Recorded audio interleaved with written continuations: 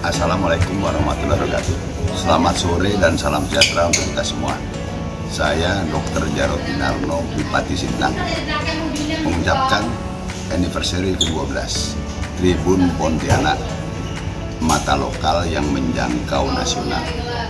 Jadilah pilar demokrasi keempat, jadilah mitra pemerintah yang sejajar. Ikut cerdaskan kehidupan bangsa, lakukan check and balances. Kemudian ikut menjaga keharmonisan masyarakat di Kalbar. Itulah yang saya tahu 12 tahun ini kiprah dari Tribun Pontianak. Sekali lagi, selamat anniversary yang ke-12 Tribun Pontianak. Terima kasih. Selamat sore, salam sejahtera. Wassalamualaikum warahmatullahi wabarakatuh.